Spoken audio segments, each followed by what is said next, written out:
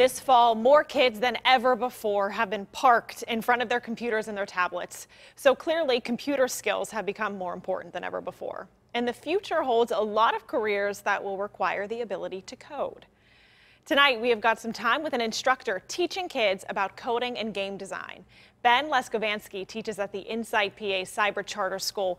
Ben, thank you for joining us tonight. Yes, thanks for having me. Why do you think kids are the perfect students when it comes to learning coding and game design? Yeah, I, you know, I think kids uh, nowadays, now more than ever, um, are into technology. Whether it's using a cell phone, using a tablet, playing video games, you know, that's that's very popular among my students.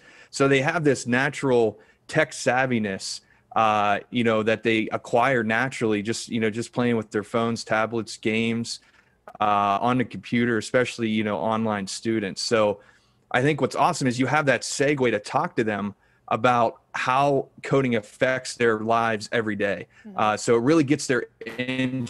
Yeah, I use a cell phone every day. What makes that work? Or I play this video game all the time. Uh, you know what makes that work? And that is coding. It sounds like a, a, perfect day for students to have an excuse to be on their computer. What does a typical day look like for the students that you teach at, at this school? Yeah, so a typical day, uh, they are on, uh, you know, with classes throughout the day. You know, they do have breaks uh, throughout the day as well, but they're in class, you know, from eight to four, again, with several breaks in between. Uh, so I see a variety of students, different grade levels, different uh, skill levels. Uh, so our pathway, you know, we have beginner coders and then advanced coders. Uh, so throughout the day, they're taking their regular gen ed classes and they're getting these chances to take uh, elective classes in coding, game design, and we have some other pathways as well. Uh, so the kids are are interacting with the teachers on the microphone, on the camera, uh, in text chat. Um, so it's very you know very lively and very interactive for being online. What types of jobs can students eventually land if they are great at coding?